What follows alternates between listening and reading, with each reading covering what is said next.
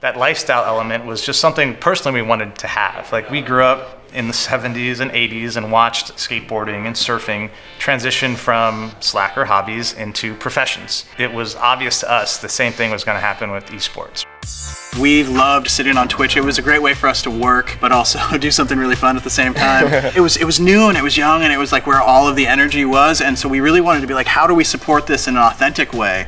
And so what we did was we looked for people who were wearing Astros, people who are already our fans, and we were you know we reached out to them and said we want to help you build your channel by giving you headsets and just doing these things that would help build these streamers and kind of build this family. We were kind of putting this thing together where we could have so much deeper interaction with our community. We're here to improve the sport of gaming, whether it's through products or creating new experiences. Our stream team is definitely a very big part of our yeah. community this year. We started it a couple years ago and it's a group of our influencers and producers who create content on Twitch and YouTube. And uh, you know, this last year we've actually added a streaming stage to our PAX booth. And so we're trying to do a lot more incorporation of, you know, bringing the community and the stream and our products together. The community really likes to rally around their champions, the people that they find influential, who, who make a difference to them. Optic and EnVyUs, you know, these are two big teams that we've been working with a lot. They've definitely helped us bring more people into the Astro family. This year we really want to increase the usability and the accessibility of the blog. We want it to be a hub of content and resources and news for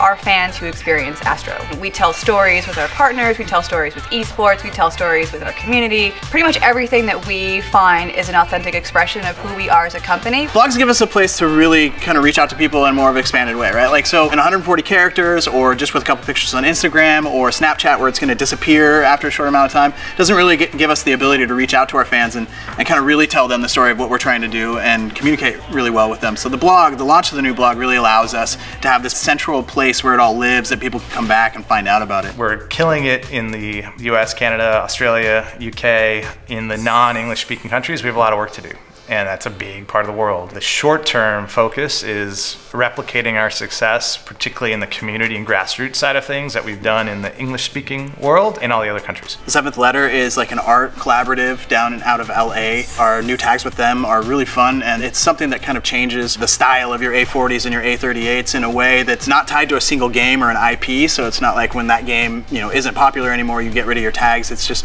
they look really cool. They have a really great vibe and a feel to it. We really like working with that group. We've got the new TR and mod kits. Those are just amazing. The designers and engineers made something that was just perfect for any environment from your living room to an esport event in a huge arena. They are like the perfect headset now. Yeah, I think this year I like to call it the year of the speaker tag. Our uh, customizer has been completely revamped and you have the option to go in there and really personalize your headset, make it your own. It's really easy for us to take our product to a community and be like, you guys should see this because that's what we feel about it. Our backpacks, our apparel. There's nothing here that we aren't all bought into. Without the fans, we can't sell anything, but without the guys making the really awesome products, we have nothing to sell. And the lifestyle aspect, it is the long-term play. I there's no like revenue goals tied to it either. It's just how do we be consistently authentic to gaming and we want to develop products that support that. So audio domination is still in the plan for us. We have some projects underway just to take cost and price out of the equation and see what we can come up with.